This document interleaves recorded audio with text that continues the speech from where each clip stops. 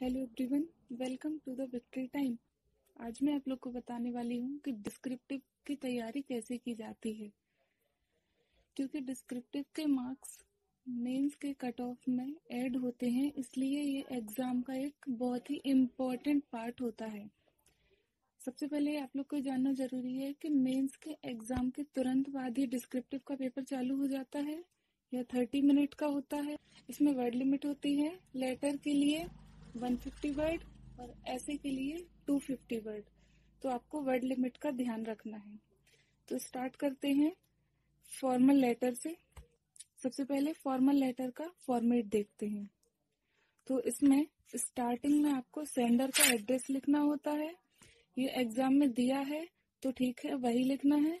और अगर नहीं दिया है तो आप आप जो एड्रेस चाहें, वो लिख सकते हैं। इसके लिए मैं आपको सजेस्ट करूँगी कि आप एक एड्रेस याद कर लीजिए और वही एड्रेस की प्रैक्टिस घर पर करिए।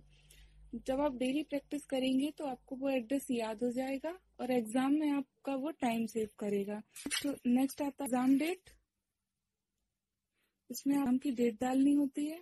डेट के बाद उस अथॉरिटी का एड्रेस और डेजिग्नेशन आता है जिसको हम लेटर लिख रहे हैं। फिर उसके एक लाइन का सब्जेक्ट लिखना होता है।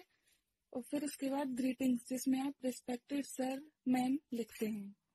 नेक्स्ट लाइन से स्टार्ट होता है लेटर की बॉडी यह तीन पार्ट्स में डिवाइड होती है। इंट्रोडक्शन डिटेल्स कंक्लूजन इंट्रोडक्शन में हम अपनी डिटेल्स देते हैं। यदि हमको बैंक मैनेजर को लिखना है तो हम ये बताएँगे कि हम इस एरिया के रहने वाले हैं और हम आपके बैंक के रेगुलर कस्टमर हैं। इस तरीके से इंट्रोडक्शन देना होता है। फिर सेकंड पार्ट आता है डिटेल्स जिसमें हम जो भी हमारी कंप्लेन है या जो भी हमारी रिक्वेस्ट है, उसको बताते हैं और फिर उसके बाद कंक्लूजन जिसमें हम कंक्लूड करते हैं कि हमारी ये रिक्वेस्ट है और आप फुलफिल कर दीजिए। उसके बाद आता है थैंक्स गिविंग एक लाइन में आप थैंक्स लिख दीजिए और फिर उसके बाद आता है सेंडर का नाम, जिसमें आप अपना नाम लिख सकते हैं यदि क्वेश्चन में दिया गया है कोई नाम तो आप वो नाम लिखिए। अब आप फुल लेटर देखिए जो मैंने टाइप किया है। इसे आपको आइडिया मिल जाएगा कि कैसे लिखना होता है। सबसे पहले मैंने सेंडर का एड्रेस लिखा। नेक्स्ट लाइन में डेट लिखी। डेट के बाद उस अथॉरिटी का एड्रेस और डेजिग्नेशन आता है जिसको हम लेटर लिख रहे हैं। उसके बाद सब्जेक्ट लिखा। और फिर उसके बाद ग्रीटिंग्स और यहाँ से स्टार्ट होती है लेटर की बॉडी जिसमें स्टार्टिंग में मैंने इंट्रोडक्शन दिया है टू थ्री लाइन का, फिर उसके बाद डिटेल्स फिर लास्ट में कंक्लूड किया है, फिर उसके बाद थैंक्स गिविंग और सेंडर का एड्रेस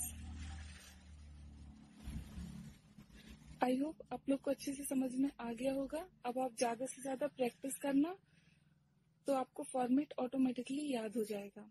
एक चीज़ जो याद रखनी होती है, हमको वर्ड लिमिट पर स्टिक रहना होता है plus five minus five word चलता है, जैसे 150 वर्ड लिमिट है लेटर की तो आप 145 से 155 के बीच में लिख सकते हैं। लेकिन ध्यान रखिएगा 145 से कम नहीं होना चाहिए और 155 से ज़्यादा नहीं होना चाहिए। अब आप ज़्यादा से ज़्यादा प्रैक्टिस करिए। कॉन्फिडेंट रहिए खुश रहिए ऑल द बेस्ट